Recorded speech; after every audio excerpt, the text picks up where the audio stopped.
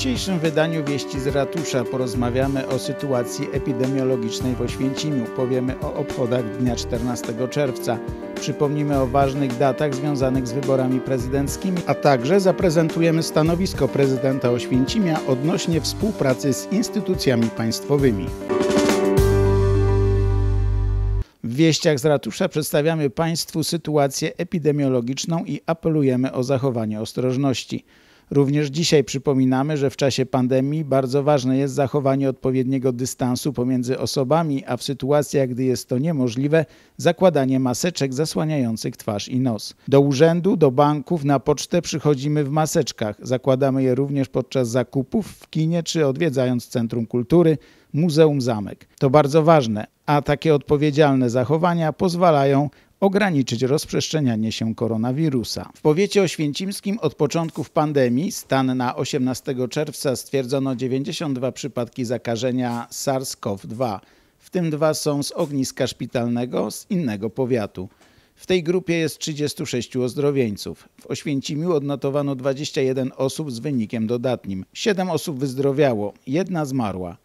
Aktualnie 10 chorych jest w izolacji domowej. Dwie osoby są hospitalizowane, jedna przebywa w izolatorium. Na szczęście stabilizuje się sytuacja w szpitalu powiatowym. Na dzień dzisiejszy nie odnotowano żadnego e, przypadku zachorowania na e, COVID-19, e, tak jak i w gronie personelu, tak i wśród pacjentów. Wydaje się wprowadzone tutaj zasady, procedury na terenie szpitala, w jaki sposób bardzo mocno chronią nas, chronią naszych pacjentów, nasz personel przed mm, niepotrzebnym, nieumyślnym zarażeniem. Wszystkie oddziały i oddziały wewnętrzne, i oddział ginekologiczny, i oddział dziecięcy, chirurgiczny, wszystkie te oddziały funkcjonują bez problemowo, funkcjonują zgodnie z zasadami.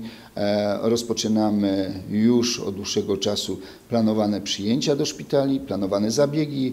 E, wcho- Wchodzimy w normalny rytm funkcjonowania szpitala. Ta informacja jest bardzo istotna dla pacjentów naszego miasta, e, również naszego powiatu, ponieważ tutaj nic złego się nie dzieje. Nic złego naszym obywatelom się nie stanie. Jeżeli tylko jest taka potrzeba, bardzo proszę, żeby podeszli do naszego szpitala.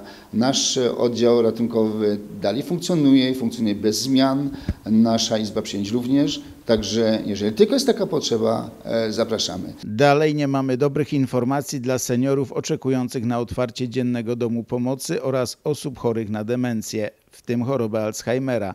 Z uwagi na sytuację epidemiologiczną w powiecie, zaleceniem wojewody małopolskiego termin otwarcia placówki przesuwa się o kolejne dwa tygodnie do 5 lipca. Od 13 czerwca można swobodnie podróżować i przekraczać granice wewnętrzne Unii Europejskiej. Podróżni zyskali na powrót prawo do swobodnego wjazdu, wyjazdu oraz tranzytu przez terytorium Rzeczpospolitej Polskiej. Polacy po powrocie do kraju nie muszą odbywać obowiązkowej kwarantanny. Również obywatele Unii Europejskiej mogą bez przeszkód wjeżdżać do Polski. A przed nami wakacje. Mimo pandemii wiele instytucji, stowarzyszeń organizuje wakacje w mieście dla najmłodszych oświęcimian. Będą się odbywać w określonym reżimie sanitarnym.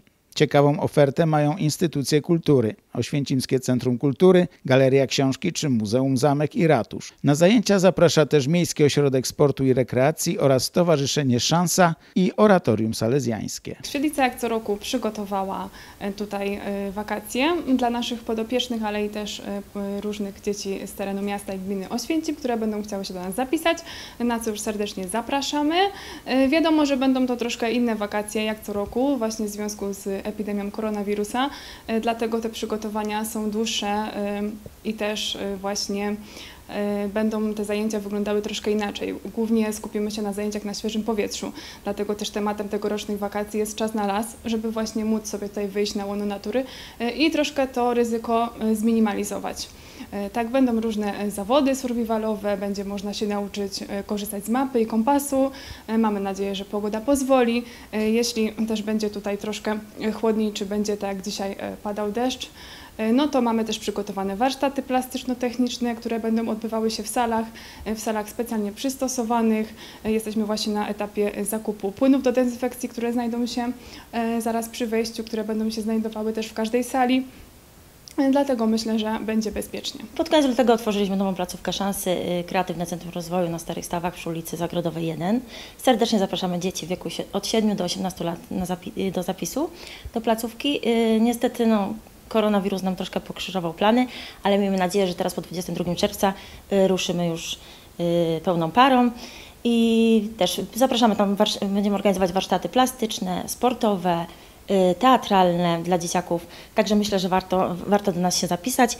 Y, teraz w okresie wakacji mm, organizujemy y, wakacje w stylu indiańskim, także myślę, że dzieci też skorzystają, będą różne wyprawy, mam nadzieję, że uda nam się zorganizować jakieś wycieczki, ale oczywiście to wszystko na bieżąco, bo wiadomo, sytuacja się zmienia w kraju. Nie poddajemy się mimo tej sytuacji z pandemią, chcemy jednak z jakąś propozycją wyjść. Nie będzie to tyle turnusów, któreśmy sobie zaplanowali, nie takie duże, ale jest ich sporo, dlatego że chcemy tutaj na terenie Zakładu Salezyńskiego zorganizować cztery półkolonie. No, chcemy odciążyć rodziców, szczególnie tych, którzy pracują bo jest to duża potrzeba, widzimy. Następnie dwie kolonie, które się odbędą e, w Wiśle. To wszystko kierujemy do dzieci w wieku od 6 do 12 lat. Także chcemy wyjechać e, w Bieszczady z mm, studentami, z taką małą grupą e, studentów. Także chcemy tutaj w każdy piątek na terenie Placu Jacka, oczywiście zachowując wszelakie wszelakie przepisy bezpieczeństwa, e, organizować tak zwane e, koncerty na Placu Jacka. W każdy piątek wakacji o 20 będzie tutaj się coś działo na Placu Jacka, będzie taka godzinka e, z muzyką. Chcemy także, aby się oczywiście odbyło Jackowe granie, czyli ten okres od powiedzmy 15 do 17 sierpnia. On się odbędzie tu na terenie zakładu, nie wychodzimy na rynek, z racji oczywiście, jak wiemy, pandemii, ale po prostu tutaj na terenie zakładu to zorganizujemy. Także jest propozycja i dla młodzieży, i dla dzieci, szczególnie dla dzieci, bo to rodzice bardzo potrzebują. Zapraszamy do nas do zapisywania się w biurze oratorium, także można spokojnie, jeszcze są miejsca, swojej pociechy zgłosić. 14 czerwca 1940 roku to data uznawana za początek funkcjonowania niemieckiego nazistowskiego obozu koncentracyjnego i zagłady Auschwitz. Tego dnia Niemcy deportowali z więzienia w Tarnowie do obozu Auschwitz grupę 728 Polaków. Wśród nich byli żołnierze kampanii wrześniowej, członkowie podziemnych organizacji niepodległościowych, gimnazjaliści i studenci, a także niewielka grupa polskich Żydów. Otrzymali oni numery od 31 do 758. Ze względu na bezprecedensową sytuację zagrożenia epidemicznego spowodowaną pandemią koronawirusa nie było obchodów o charakterze masowym. 80. rocznicę tamtych wydarzeń upamiętniły dwie byłe więźniarki obozu Auschwitz, Lucyna Adamkiewicz oraz Barbara Wojnarowska-Gautier, a także delegacje władz RP z prezydentem RP Andrzejem Dudą. W imieniu mieszkańców Oświęcimia kwiaty złożył prezydent Oświęcimia Janusz Chwierut. Z uwagi na obostrzenia w organizacji święta upamiętnienie rocznicy miało charakter indywidualny. W centrum świętego Maksymiliana w Harmężach, gdzie prezentowana jest wystawa prac autorstwa byłego więźnia pierwszego transportu numer 423 Mariana Kołodzieja, klisze pamięci i labirynty, odprawiono uroczystą mszę świętą w intencji ofiar. Wieńce złożono także pod tablicą poświęconą pierwszemu transportowi, znajdującą się na budynku dawnego polskiego monopolu tytoniowego, nieopodal terenu dzisiejszego Muzeum Auschwitz.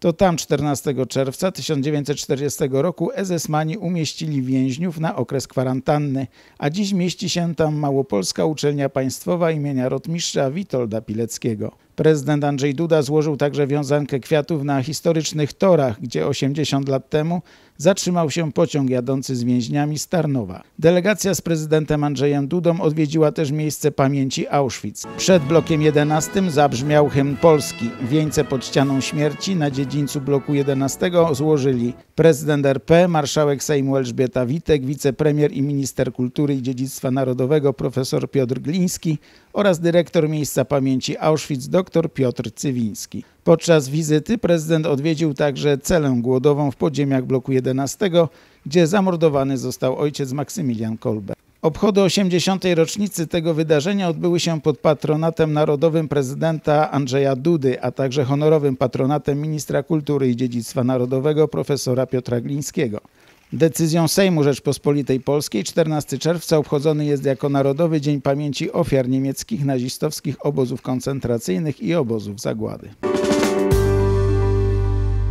Wybory na urząd prezydenta Rzeczpospolitej Polskiej odbędą się 28 czerwca. Lokale wyborcze czynne będą od godziny 7 do 21. Przypominamy, że do 23 czerwca w Wydziale Spraw Obywatelskich można składać wnioski o dopisanie do spisu wyborców. Wyborca podlegający w dniu głosowania obowiązkowej kwarantannie, izolacji lub izolacji w warunkach domowych może zgłosić zamiar głosowania korespondencyjnego najpóźniej do 23 czerwca.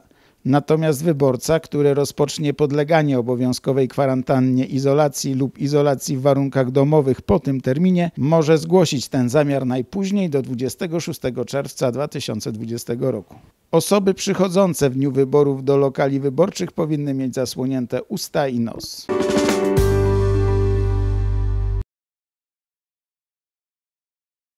Miasto Oświęcim już od wielu lat współpracowało z PKP dotyczącym właśnie modernizacji e, dworca w Oświęcimiu.